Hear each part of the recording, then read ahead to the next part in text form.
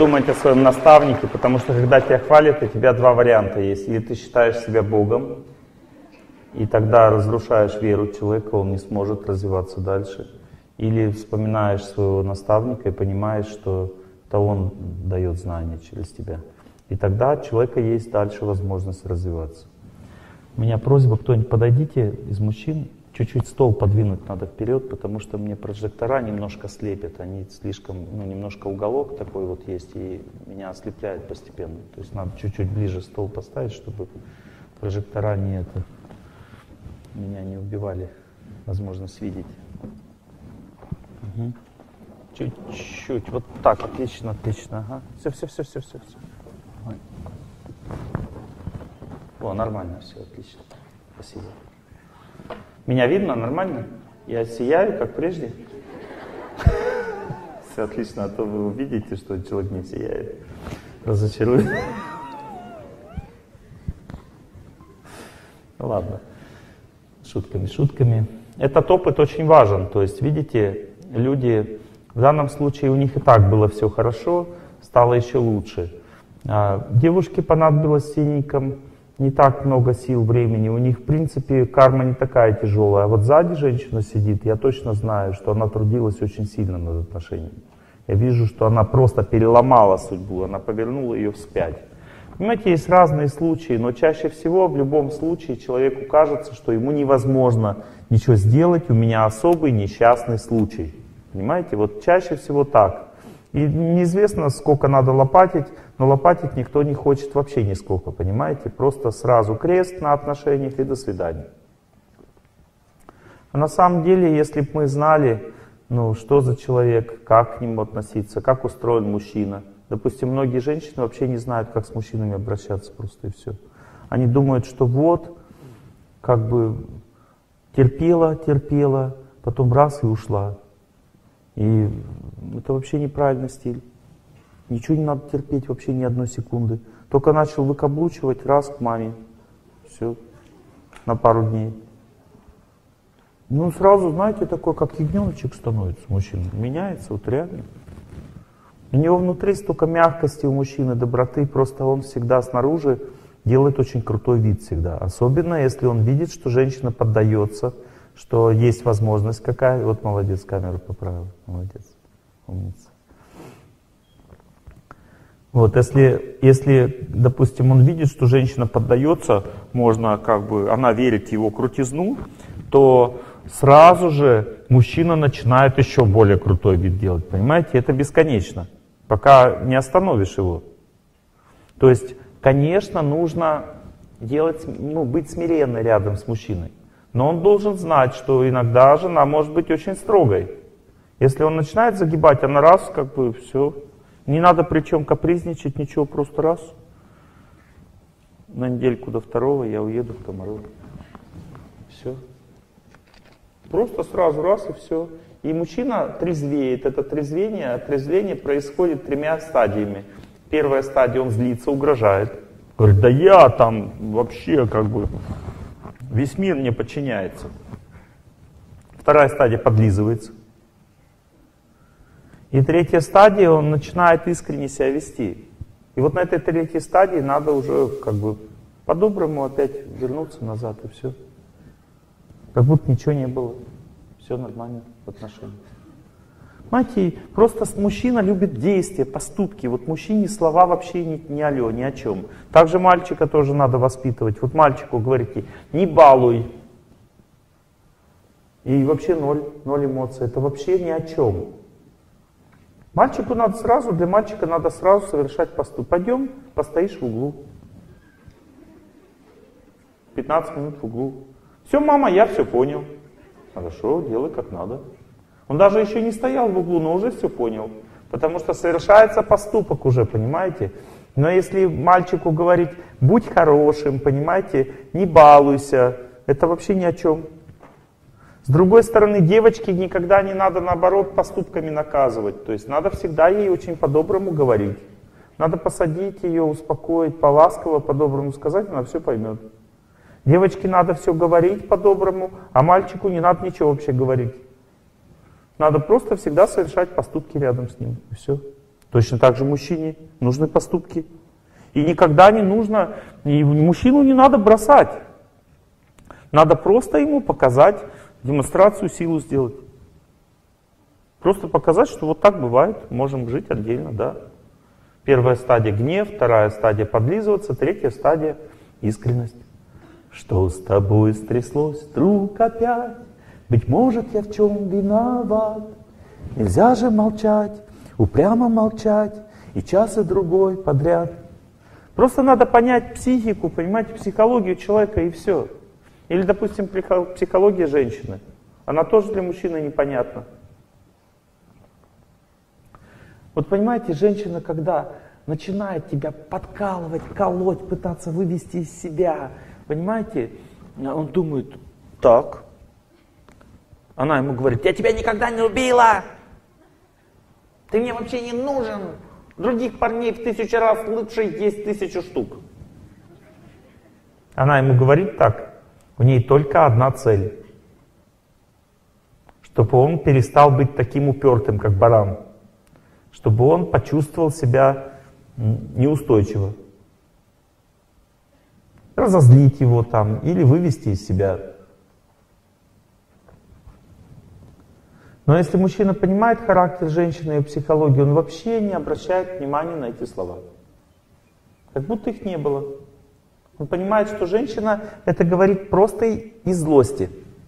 Вот у мужчины такого нет, чтобы он из злости начал вот так делать. Чаще всего мужчина так себя не ведет. Но женщина имеет право. И она на следующий говорит, день говорит, ты что, дурак, не понимаешь, это я просто из злости все делала. Я на самом деле тебя люблю. Правильно, девушки, так же бывает или нет? Да? Поднимите руку, у кого так бывает. Видите, почти у всех. Ну, некоторые постеснялись, у них тоже так бывает. А мужчины вот верят, она сказала, все, он ей поверил, все. Что вот, она меня не любит на самом деле. Это просто вот женский стиль поведения, все. И разумный мужчина, он вообще как бы слушает, как будто ничего не сказано было. И тогда она ему еще больше начинает верить, он думает, тот хороший человек. Если мужчина хотя бы один раз выдержит женские капризы спокойно, Женщина так становится счастлива с ним. Ей так нравится этот человек, она думает, как, Господи, какой хороший человек. Даже мои капризы вытерпел. Подтверждение. Представляете? Как женщине важно, чтобы мужчина был устойчивым. Потому что женщина как раз замуж и выходит, потому что она сама неустойчивая.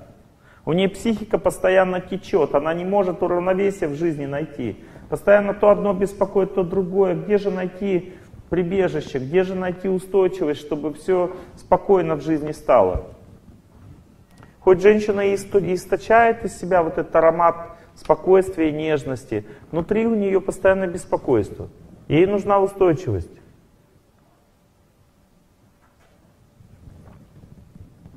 И когда она видит, что у нее такой муж, который спокойно относится к ее э, эмоциям, она так счастлива, ей так хорошо от этого становится. Она думает, Господи, спасибо, судьба, за то, что у меня такой человек есть.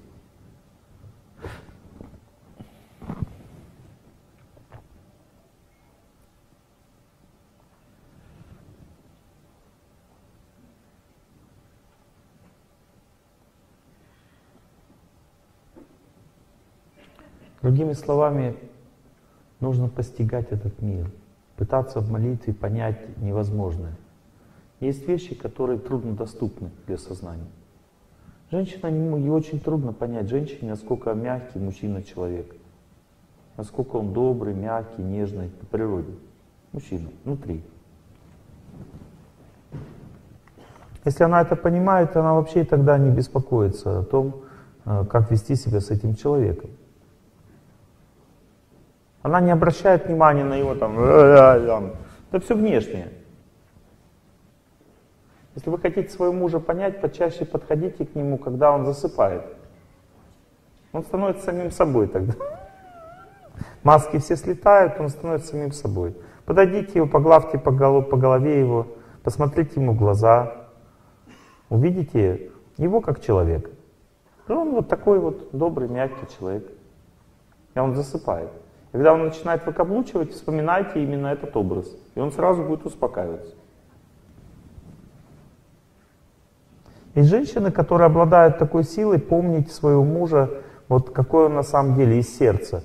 И они мужчину своего успокаивают в секунду. Вот смотрите, допустим, пример. Допустим, какая-то встреча какая-то, и муж начинает пылить, он там доказывает, да я там 30 лет этому отдал, я все знаю в этом опросе. Вот, ну, как мужчина обычно делает. Женщина просто подходит, его жена так раз, ему руку на плечо. И он пш, и сдулся. Знаете, просто вот одно прикосновение, он раз и обмяк сразу. Почему? Потому что она его знает изнутри. И она контролирует в результате его психику таким образом. Не то, что с собой в отношениях, а со всеми людьми. Но это означает глубокая сила уже, глубокое влияние. Или женщина, она по природе такая очень нежная, мягкая, как цветочек такая. Она очень такая чуткая, мягкая, добрая, как цветочек внутри. Надо ее тоже понять просто. Надо почувствовать ее как личность. И когда мужчина это чувствует, как бы она себя не вела, он к ней вот именно так относится, как он ее чувствует, и она тоже сразу приходит в себя. Понимаете, это называется уважение, то, что я вам сейчас рассказываю. Уважение означает почувствовать человека изнутри. Не внешне, как он на себя что корчит, а изнутри. И тогда сразу приходит победа над судьбой, тут же. Но чтобы почувствовать человека изнутри, надо внутреннюю жизнь организовать в своей жизни, потому что мы даже себя изнутри не понимаем, не то что другого человека. Мы даже себя не чувствуем, не то что другого кого-то. Вы свою-то чистоту чувствуете или нет? Не свою правду и свою красоту, там, а чистоту души своей надо почувствовать. И стремиться к ней, жить вот по этому чувству надо учиться человеку. Это означает жить по совести.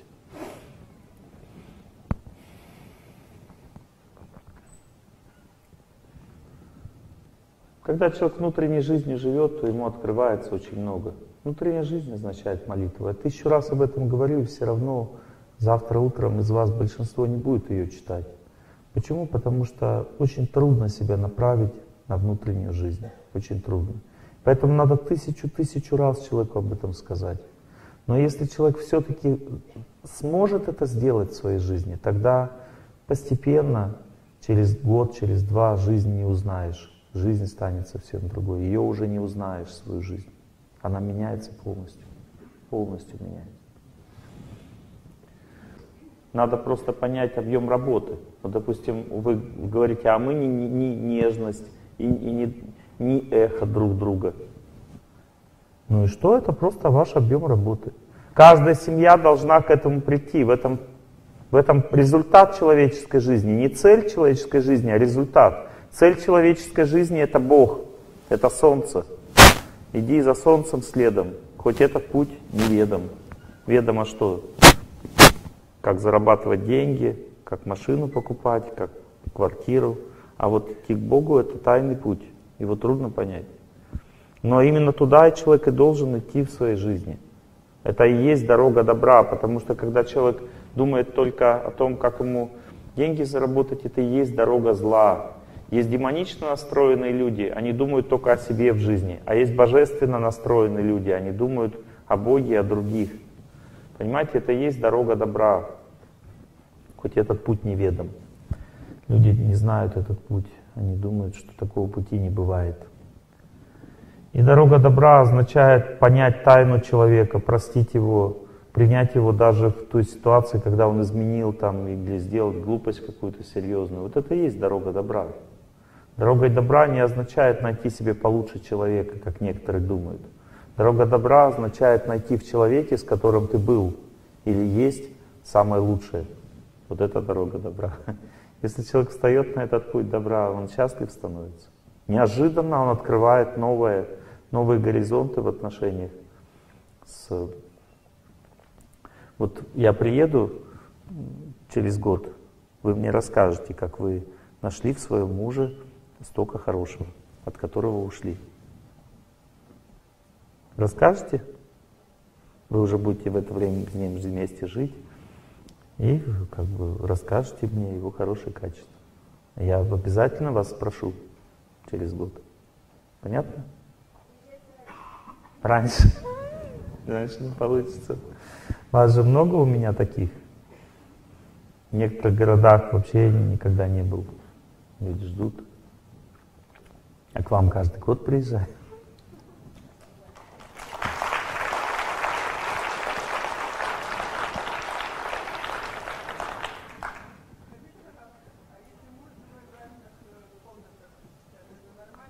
Но я с женой в разных комнатах с ней сплю, с своей женой. Нормально? Понимаете, когда люди вместе спят, они истощают друг друга. Энергия любви должна быть загадочной и долгожданной. Например, я уехал на месяц, я приезжаю домой, ну, любовь становится глубже, потому что люди не виделись, разлука, она увеличивает любовь. Но когда люди спят вместе, они надоедают друг другу. Не значит, что вы сейчас прям разошлись по комнатам. Это будет шок для вашего близкого человека. То есть не нужно увеличивать стандарты своей жизни искусственно. Не нужно пытаться искусственно что-то делать. Живите, как вы живете. Просто знайте, что когда вы чуть-чуть дистанцию держите, телесную друг от друга, сладости в отношениях становится больше. А если вы пытаетесь прилипнуть друг к другу, тогда становится меньше. Люди просто привыкают друг к другу и все. Понимаете, поэтому в древней культуре были женские покои, были мужские покои. То есть это означает, что женщина должна в женской среде в основном проводить время, а провождение времени с мужем это сладкое время. Заметили, что если у вас выходной, вы вместе находитесь день, то в конце дня уже начинаете ругаться.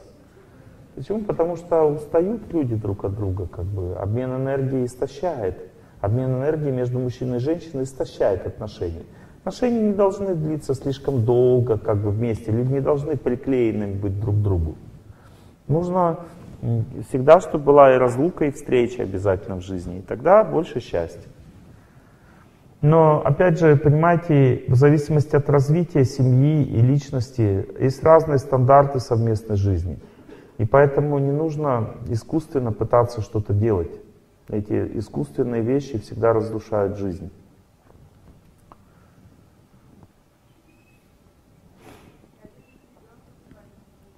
С ребенком нормально, он чувствует заботу, защиту от матери. До пяти лет нормально. После пяти лет не надо уже спать с ребенком. Надо его отделить, чтобы он чувствовал также и развитие. А то он маменькиным сыночком будет. Всю жизнь на защите не проживешь. Нужно начать чувствовать этот мир, пытаться самому как-то выжить. С пяти лет ребенок должен уже развиваться. Материнская энергия уже не должна так сильно на него влиять в это время. Материнская энергия — это энергия спокойствия, защиты и сна. Но ребенок должен пробуждаться в жизни, он должен стать активным, должен учиться жить. Мальчик, э, мальчик вообще после пяти лет должен больше мужское общение иметь. Ну, то есть, может быть, отцу некогда, но тогда нужно его в секцию какую-то отдать. Но он должен больше мужского общения иметь, вообще, мальчик. А девочка, она должна с мамой всю жизнь и очень близкие отношения строить, всю жизнь. Но спать вместе, иногда можно даже с мамой вместе спать, девочки, можно иногда. Но не, не постоянно, иначе она прилипнет слишком сильно, ее потом не оторвешь.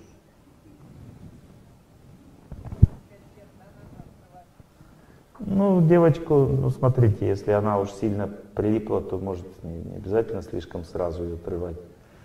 Девочки прилипают сильно. Прилипают. Женская природа — это приклеиваться.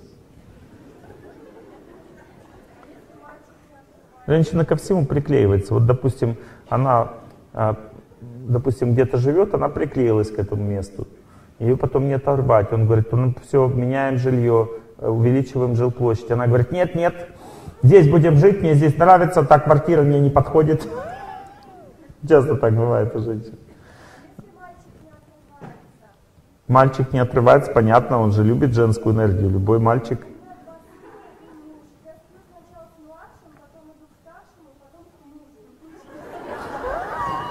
Одна на всех, да? Одна на всех мы за ценой не постоим.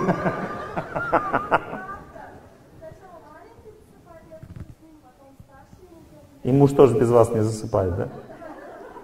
Никто и без вас не засыпает. Видите, какая вы на расхват. Тяжело, понятно. Ну, отучайте, значит. Плачет.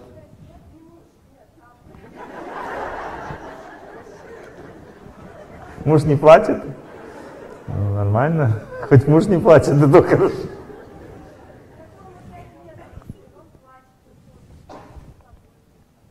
Видите, вот так женская любовь, женская энергия так сильно нужна, видите, мужчинам.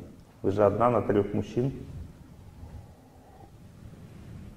Вот так вот на расклад. Бог поможет вам как-нибудь.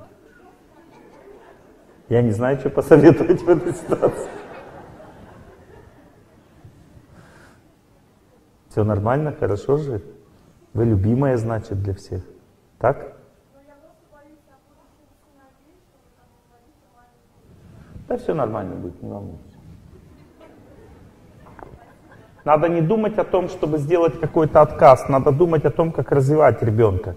Если вы его отдаете в секцию какую-то, ну то есть если вы в позитивном направлении мыслите, вы ему даете силы жить, тогда он забывает про слабость.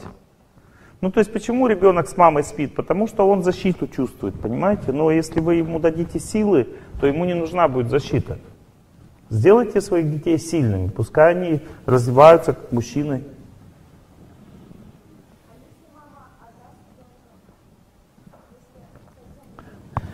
Слушайте меня внимательно. Слушайте, пожалуйста, это очень важно. Я еще раз, тысячу раз это буду повторять, пока до вас не дойдет. Невежественные люди все одинокие, даже если они живут большой семьей. Когда человек находится в невежестве, он озлоблен, обижен, его вера во все разрушена. Понимаете? Он не может быть ни с кем близок, даже если люди его окружают. Человек в страсти, он вроде бы не одинок, но он одинок по факту, потому что его окружают только деловые отношения и отношения наслаждения. В семье он наслаждается отношениями, а на работе строит деловые отношения. Близких, глубоких отношений ни с кем нет, потому что он не знает, что такое духовная жизнь. Он не знает, что такое внутренние отношения. Мы эхо, мы долгое эхо друг друга. Он не сможет быть ни с кем долгим эхо. Поэтому семья у людей в страсти разрушается, потому что они не поняли юмора, не поняли друг друга, не поняли, что за человек с тобой находится. Нет понимания. Есть видишь только внешне, его агрессию, злобу там и так далее, а внутри его не, понял, не поняла. И реагируешь на внешние вещи, значит он уходит. Ты его внутри не чувствуешь, не можешь успокоить. Люди в благости не бывают одинокими. Слушайте дальше. Люди в благости не бывают одинокими, потому что люди в благости, они строят очень близкие отношения со всеми, не только с мужем и женой. Люди в благости означает, это люди, которые находятся в какой-то вере. Верующие люди, они общаются друг с другом. У них есть наставники, соратники, есть семья большая, понимаете? Если женщина одна с ребенком, то и она верующая, то ей помогают воспитывать ребенка мужчины, которые находятся в ее вере и которые как бы заботятся о ней, как, как отцы. Попытайтесь это понять, что в духовной среде, в религиозной среде люди не бывают одинокими. Вот кто из вас находится в религиозной среде, и несмотря на то, что вы одна, без мужа, вы не чувствуете себя одинокой? Поднимите руку. Вот, пожалуйста, куча таких людей. Вот посоветуйтесь с ними, поговорите, они вам расскажут, как это так бывает. А так как вы говорите, я одинокая, у меня нет мужа, это значит, что вы в страсти находитесь. Вы, если бы вы были в невежестве, вы бы на лекцию не пришли.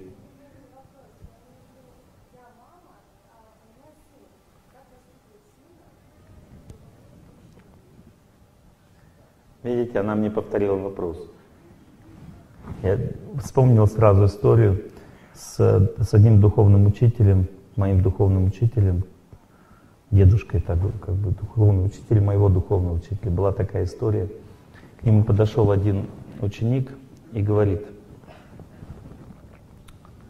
пожалуйста, я женился, расскажите мне, как мне строить интимные отношения с женой, чтобы мы были счастливы.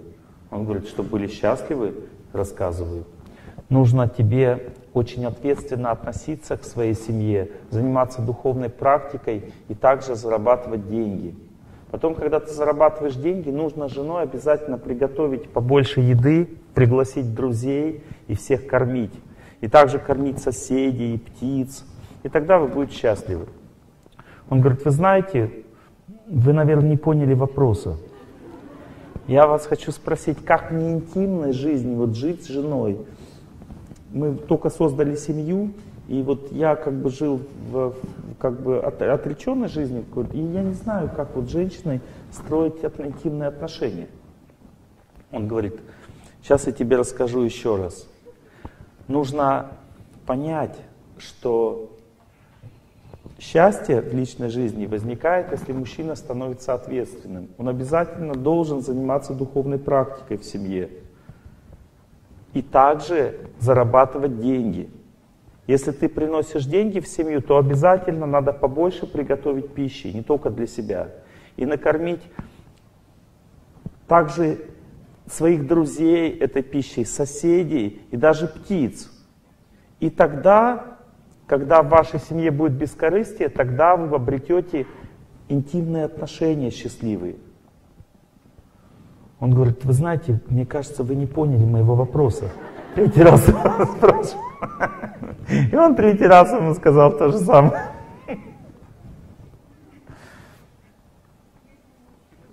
Повторяю вам второй раз.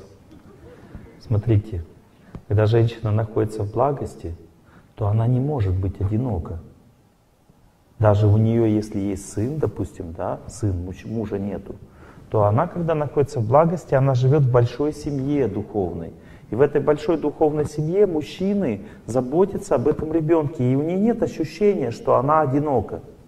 В древней культуре многие женщины были одинокими не потому, что их бросали мужья, а потому что мужья погибали в войне там, и так далее. И они все равно, эти женщины, не чувствовали себя одинокими, потому что они жили в большой семье, где люди заботятся по-братски друг о друге.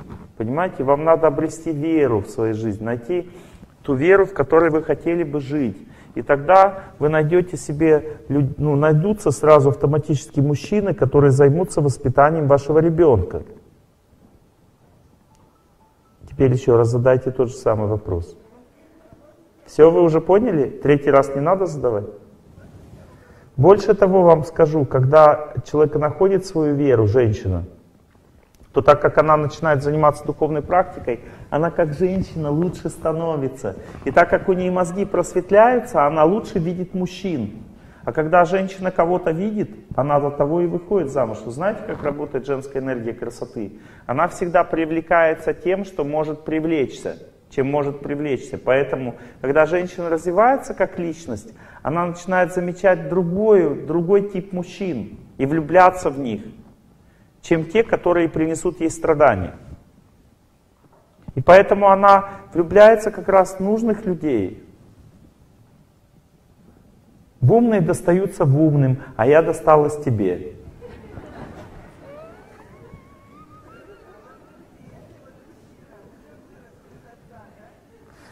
Что? Ну, без отца вырос мальчик. Ну, присущие ему женские черты характера. У него перепад настроения. Может, возьмете микрофон, а то я все буду пересказывать за вас.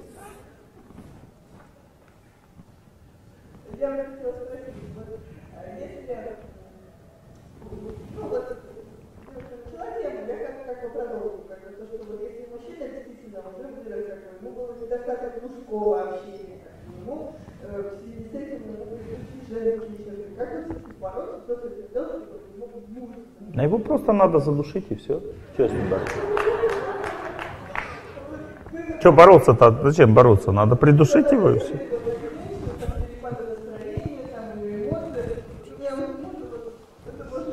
Ага. Когда спит, да? Хороший человек, когда спит. Это объем работы. Вот человек, допустим, мужчина вырос а, в семье без отца, да? Это значит, вам положен такой мужчина по судьбе. Вы это приняли? Вот, значит, вы находитесь на первой стадии победы над судьбой. Есть три всего стадии. Первая стадия. Человек принимает человека такой, какой он есть, понимая, что это и есть его судьба. Это первая стадия. Вторая стадия победы над судьбой – это а, оценить объем работы. Ну, то есть ты не просто принял человека, а также понял, сколько тебе надо трудиться, сколько, чтобы поменять эту твою судьбу. И потом третья стадия – это труд. Человек начинает трудиться, он знает, что все нормально. Понимаете, первая стадия называется стадия испуга. Я захожу на кухню, бардак. Я из лесу вышел и снова зашел, да? Ну, то есть я захожу на кухню, бардак, и выхожу из кухни. И больше ни туда не захожу. Почему? Потому что страшно, сколько работать. Это первая стадия. То есть люди обычно на первой стадии не верят, что это их кухня. Моя кухня была нормальная, что такое? Почему так? Я не понимаю. Вот. На второй стадии человек заходит, смотрит. Главное, главное это не слишком сильно верить, что здесь я помру. Ее эту кухню чище. Ну, начинаю понемножку. Я хочу сделать чуть-чуть просто. Что-то чуть-чуть сделать, помыть эту кухню чуть-чуть. И когда человек принял, что он может ее вымыть, по чуть-чуть начал мыть, это уже третья стадия, означает, что она будет чистая. Приведу пример. Очень много меня окружает людей, которые меня любят, искренне любят и заботятся. У меня в саду на заднем заборе растут колючки вот с такими иголками. На южных городах, вот правда, такие есть акации, вот у них вот как кинжалы, вот такие здоровые иголки, длинные. И эти акации, когда разрастаются, там невозможно ходить, они колятся. Поэтому ребята, мои ученики, помощники, они взяли э, эти акации все порезали и сложили э, под грушей. И они их сложили, а так как акации вот эти вот веточки складываешь, их потом не вынуть, они все переплетаются. И вот под грушей у меня под деревом не сжечь, не увести. Появилась такая куча, по милости любимых людей. Сначала я просто был в шоке. Я не знал, что-то с этой кучей сделать, и это длилось где-то год. Я ходил вокруг нее, мне некогда говорил. Я попытался, попросил опять же этих ребят что-то с ней сделать, они пришли, покрутились, говорят, ничего сделать невозможно. Любовь здесь закончилась. Даже правда ничего с ней не сделаешь, они колятся же, не вытащить ничего. И я в какой-то момент думаю, вот я молюсь, там побеждаю судьбу везде, а почему бы мне судьбу со своей кучей не, не победить? То есть, видите, я начал, оценил объем работы, на вторую стадию перешел. Я начал молиться по поводу этой кучи, и потом мне Бог в сердце подсказал, ты, говорит, не надо ее вообще разгребать, все нормально. Ты просто разведи костер рядом и возьми просто одну веточку из этой кучи и посмотри, как она горит. Я думаю, что интересно, вот я хочу, правда, вот по, по, по, воспользоваться этим советом. Взять одну веточку из кучи и посмотреть, как горит. Я разжег костер, взял веточку, положил, смотрю, горит классно, интересно так горит. Надо еще одну веточку взять. Ну где же ее взять? Они все переплетены. Я начал стараться там вытаскивать. Через полчаса вся куча сгорела. Я сам не заметил как. Понимаете? Но просто подумать о том, чтобы с ней что-то сделать, у меня вызывало в сердце боль. Точно так же у вас сейчас вызывает сердце боль сама мысль, что э, этот человек вот с женскими качествами характера, мой муж, моя судьба.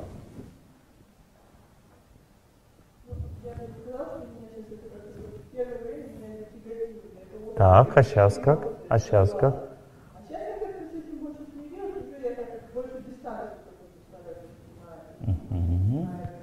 Замечательно. Приняла. Или не полностью?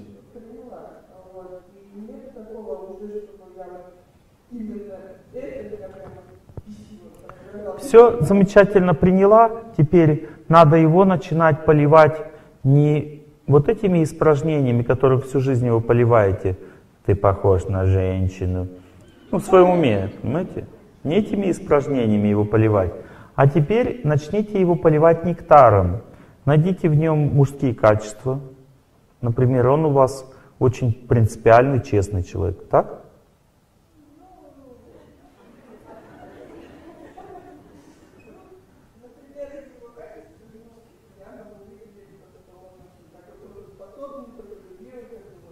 М-м-м.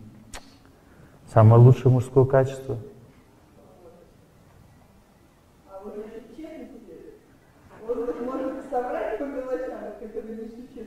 А, угу. а все, я перепутал. Это вы такой честный человек. Ага, я могу перепутать иногда. Да, это вы честный человек. А он трудолюбивый, да? Терпеливый еще. Терпит вас.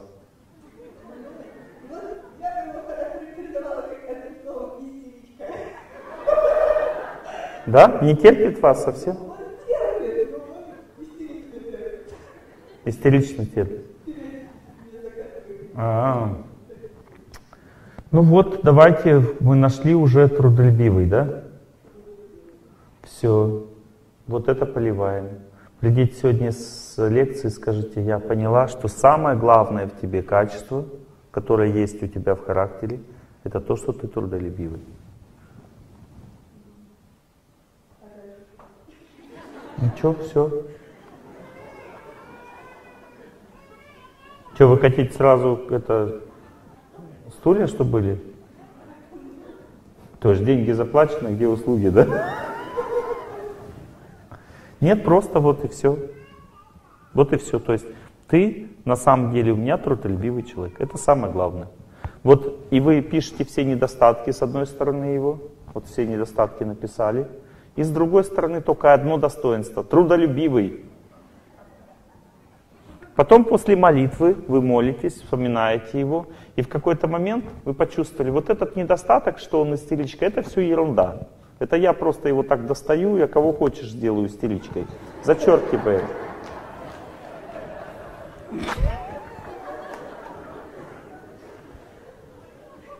Вы когда сегодня у меня на приеме были, я это почувствовал.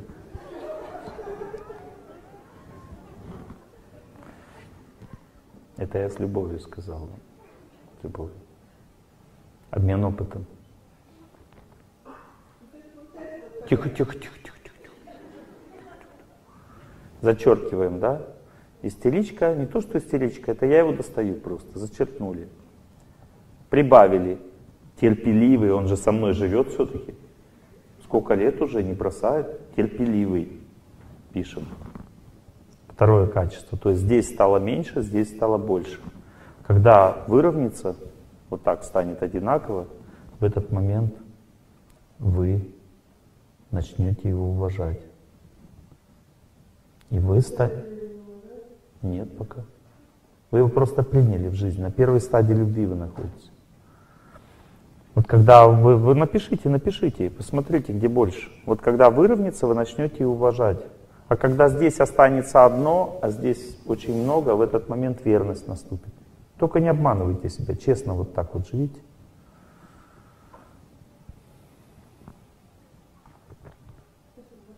Хм. У вас все будет хорошо. Очень хороший человек. Да. Вы вытерпели мое замечание. Люди, знаете, как не любят правду о себе? Ой, Вытерпели, я сказал. Я наблюдал за вашим сердцем. И вытерпели. Видите, какой вы хороший человек. На самом деле вы очень искренний, добрый человек. И вы хотите всех любить, и поэтому вот это так проявляется у вас. Но он этого не знает у вас. Если он узнает, что вот вы так себя ведете, потому что вы хотите любви, как бы любить хотите, заботиться обо всех, тогда он будет терпеть вас сколько хочешь.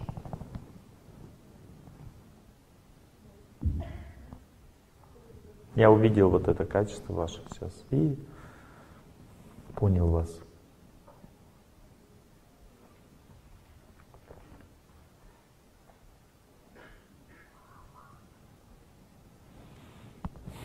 Видите, как жизнь, она такая непростая штука. Вот кажется, все вот так. Понимаете? Вот кажется, вот так вот все. А потом начинаешь разбираться, и оказывается, все наоборот. Понимаете, все наоборот. Это страшно, судьба человека это страшно, страшно запутанная вещь. И вот это вот восприятие, это такая штука ужасная, понимаете? Мы искренне верим, что вот это так, вот как мы видим картинку. Но на самом деле эта картинка, это и есть мой экзамен, понимаете, который мне надо сдавать. Потому что настоящая картинка, она совсем другая. И это страшно признать и понять. Потому что человек по своей природе, он совсем другой, не такой, как мы его видим. Понимаете? Он очень смелый человек. Вот этот человек, с которым вы живете, он очень смелый в сердце. Я его сейчас. Да, он очень смелый, но вы этого не знаете в нем.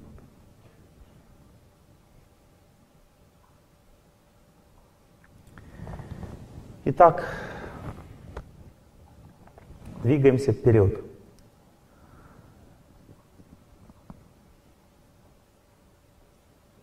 У нас сегодня будет необычная концовка. Я должен закончить пораньше, потому что у нас будет еще пораньше. Так, 7. А, ну да, у нас еще полчаса есть. У нас сегодня будет очень интересная дальше программа. У нас есть клуб благости все-таки в Уфе. И там такая замечательная девушка. Еще даже, кстати, не замужем. Кому-то сильно повезет. Вот. Она может подняться Маргарита ее зовут. Она такая замечательная, красавица такая, смиренная. Ее многие знают из вас, она э, участвовала в организации. Вот. Вот, ну пригласите Маргарита всех в благости.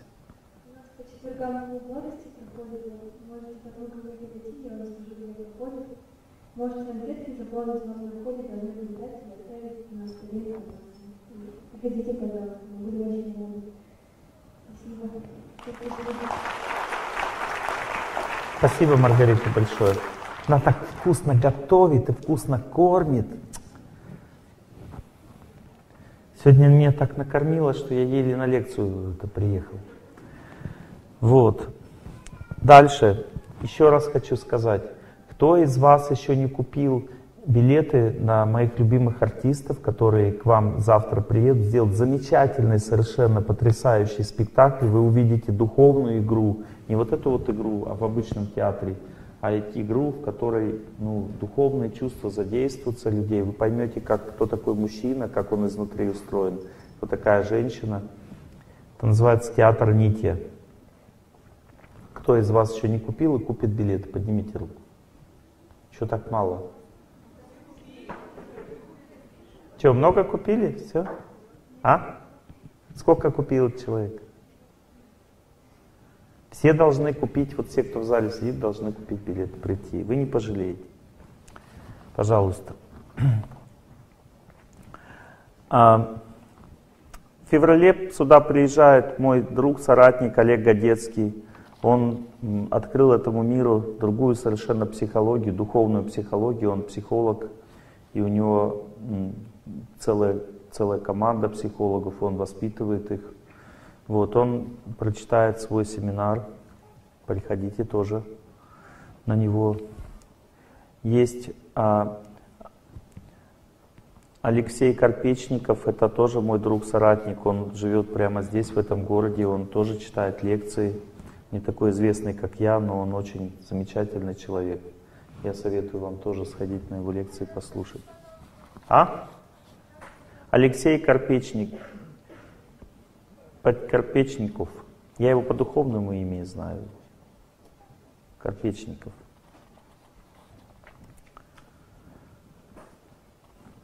Вот, дальше есть еще один лектор и певец, то есть он тоже замечательный человек, Олег Казабаев. Казакбаев. Я по духовному имени знаю, поэтому как бы... Вот он тоже прочитает здесь лекции. Написали немножко коряво. Вот есть еще один а, человек. О, сколько у вас приезжает, удивительно. А, Павел Цымбаленко. Тоже это из Волгограда, мой друг. Тоже он приедет, прочитает лекции, приходите. Ярослав Климанов. Уже был, да, Павел?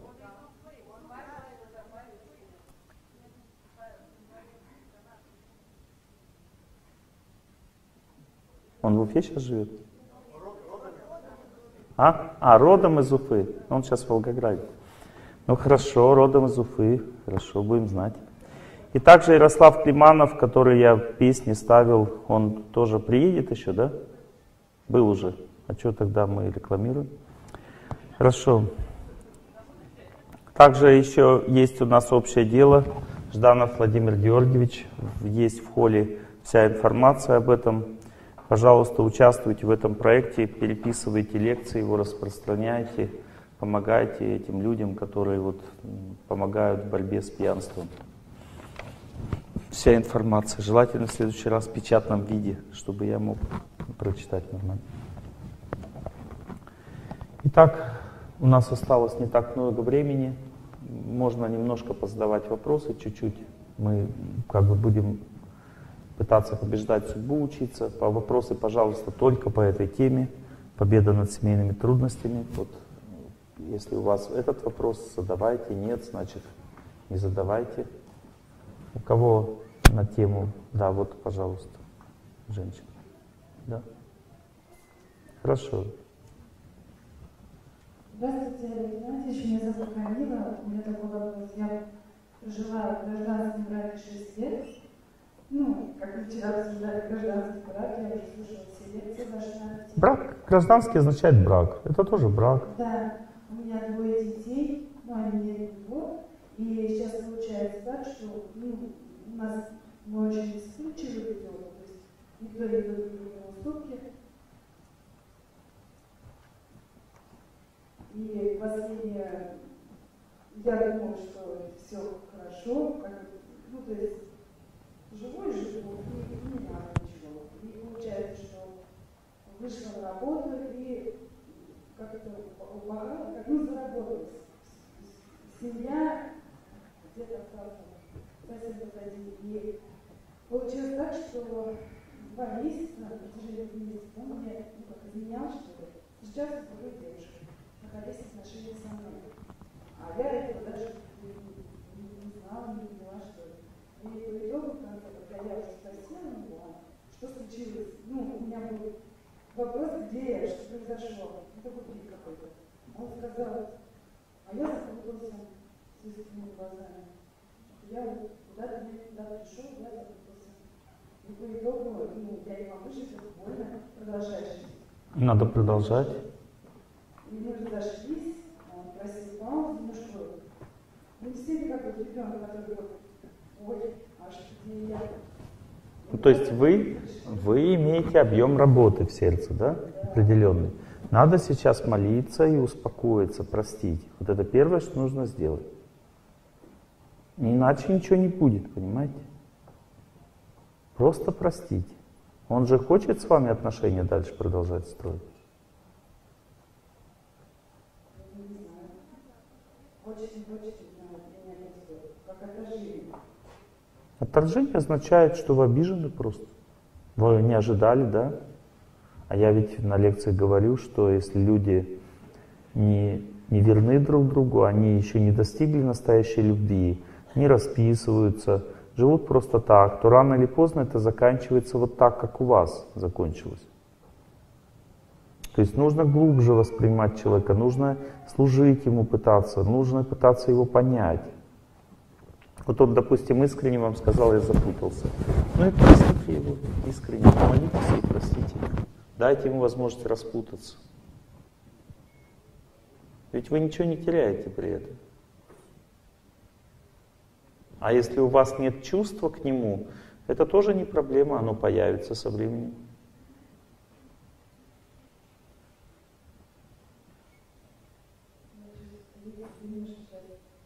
ушел, два месяца его уже нет.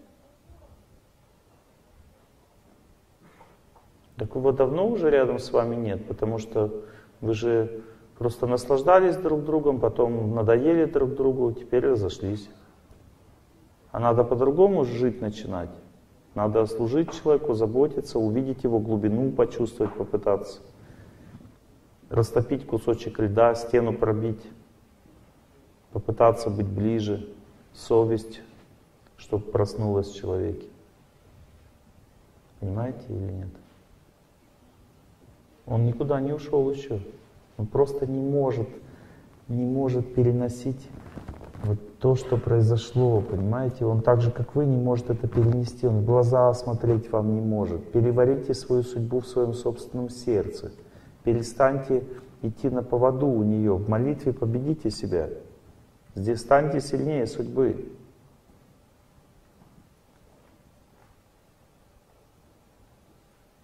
Хорошо? Я не вижу пока ничего плохого. Все нормально пока в вашей жизни. Нужно сейчас работать, трудиться сердцем. Ну вот девушка сильно хотела задать вопрос.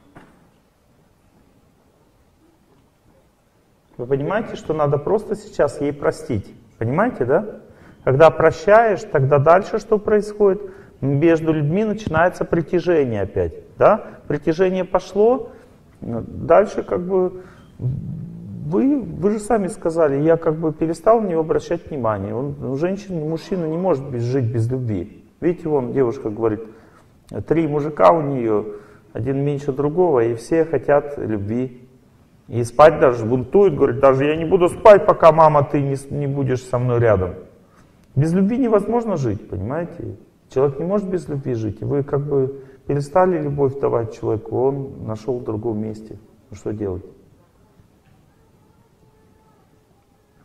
Надо простить ему сейчас и просто прийти к нему, сказать, возвращайся холодным утром, возвращайся, не очень трудно, возвращайся и оставайся, возвращайся, я без тебя устал. Да? Хорошо. Но ведь часть это будем все равно желать, несмотря на номера. Из зала вопрос, как в смысле? Записка. У меня первое, ну, второе образование такое. Работаю на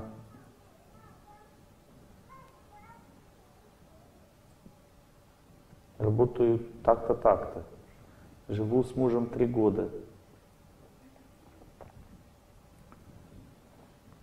С Нового года меня увольняют. Посоветуйте, пожалуйста, какую сторону мне лучше пойти. Не хочу трудиться ради денег, хочу на благо людей работать. Вы знаете, вы знаете, не надо об этом беспокоиться. Вы работаете там, где Бог даст. А в свободное время учитесь молитве, учитесь духовному общению, ходите на клуб благости, постепенно развивайтесь как личность. Понимаете, человек не может сразу начать работать на благо людей. Это зависит от его развитости. Если человек развивается как личность постепенно, его возможность приносить пользу людям возрастает по мере его развития внутреннего. Поэтому сначала просто работайте там, где работаете, и развивайтесь как личность. Придет время, и ваша работа поменяется. Это не сразу происходит. Ну вот девушка, давайте, да? Вы говорили про невежество. Я жила с человеком 6 лет. С таким. Ну, и... что сделать? Ваша судьба такая. Ну, да, он ушел. Угу. Он ушел к другой женщине, год почти там прожил и решил вернуться. Не знаю, как так вышло, но мы снова начали строить, ну, не строить, пытаться строить отношения. И я понимаю, что я его очень люблю, он очень родной человек. Я понимаю, что не получается, мне не хочется показывать собой. Надо воспитывать его, ставить условия, как правильно жить. Но сейчас так получилось, что я ушла. Послушав лекции, я немножко запуталась нужно... Вы не запутались, вы оценили объем работы просто. Вы сейчас дальше слушаете лекции, не говорите, что вы ушла, а просто, ну как бы скажите, у нас временная передышка. Просто пытайтесь все понять. И надо понять, что мужчина, он меняется. Надо просто ставить ему условия, развивать его любовью. Объяснять, как правильно себя вести, как жить. Пробовать жить вместе не получается, опять раздельно. И так постепенно развивать отношения. И молитвой пытаться пробить свою плохую судьбу. Вот Бог дал вот этого человека, трудитесь с ним. Если вдруг потеряете этого человека не сможете справиться, ничего страшного в этом нет. Бог даст еще другого человека. Но сейчас вот остался этот. Я не вижу, чтобы он вам кого-то еще давал. Трудитесь над отношениями. Я думаю, что все-таки мы сейчас не сможем дальше продолжать вопросы, потому что уже без 20.10, а меня попросили закончить раньше. А нам еще надо повторять «Я желаю всем счастья». Поэтому все сядут прямо, должны сесть прямо. Все вопросы и ответы есть в интернет. У меня э, даже на сайте есть такие лекции, ответы на вопросы, целые лекции по три часа. Можете прямо слушать, и там найдете свой вопрос и свой ответ. За две-три лекции обычно люди находят ответ на свой вопрос. А сейчас мы будем трудиться душой, учиться. Сейчас вы послушаете еще одну духовную традицию. Это уже ведическая духовная традиция.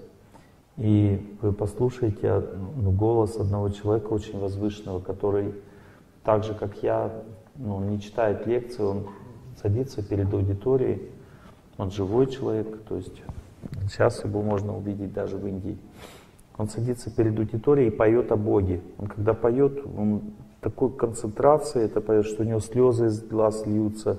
И по 50 тысяч человек приходят его послушать. И люди в таком счастье находятся, что все вопросы их жизни решаются просто за 2-3 часа его пения. И сейчас мы